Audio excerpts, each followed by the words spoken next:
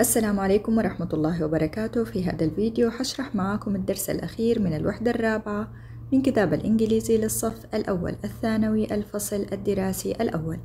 وقبل ما أبدأ بالفيديو بتمنى من كل اللي بيشاهد الفيديو إنه ينزل أسفل الفيديو ويشترك معي في القناة.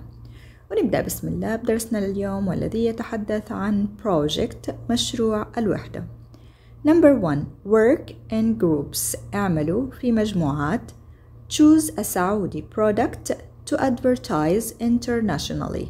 اختاروا منتج سعودي كي تقوموا بالإعلان عنه دوليا. Number two, use the organizer to make notes. استخدموا هذا المنظم الموجود في الأسفل لتكتبوا ملاحظاتكم. Then use it to write a description of the product for a website or catalog advertisement. وبعد ذلك استخدموها لكتابة وصفا لهذا المنتج في موقع أو في كتالوج للإعلانات.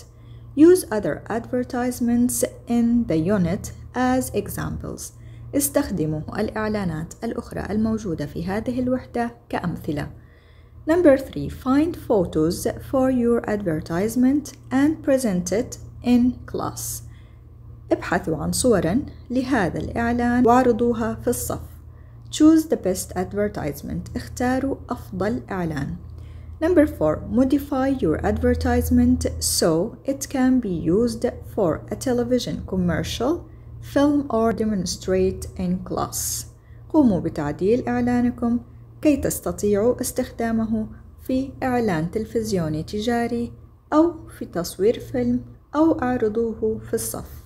هنا لدينا المنظم لدينا هنا سلوغان أي الشعار؟ هو عبارة عن سعودي product منتج سعودي. product you want to advertise. ما هو المنتج الذي نريد أن نعلن عنه؟ إنه المدينة dates. عبارة عن تمور المدينة.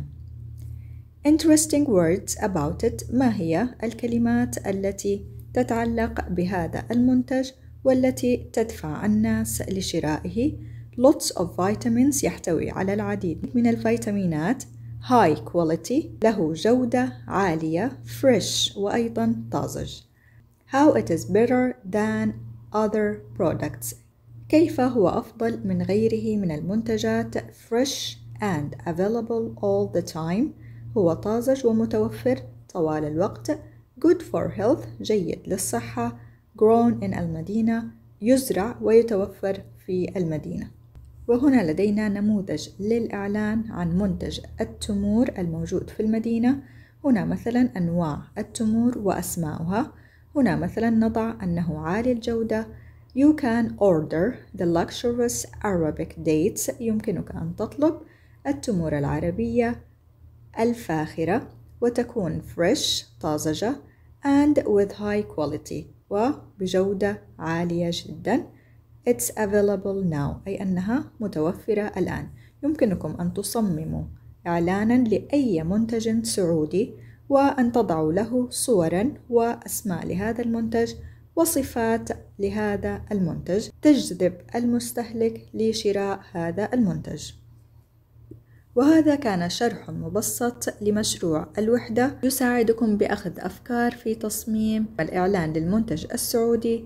الذي ستقومون باختياره. والآن وصلت إلى نهاية شرح هذا الدرس ونهاية الفيديو. إذا عجبكم الفيديو واستفدتم منه انزلوا أسفل الفيديو وأضغطوا على زر اللايك. ولا تنسوا أن تشتركوا معي في القناة وتفعلوا جرس التنبيه. وشكراً.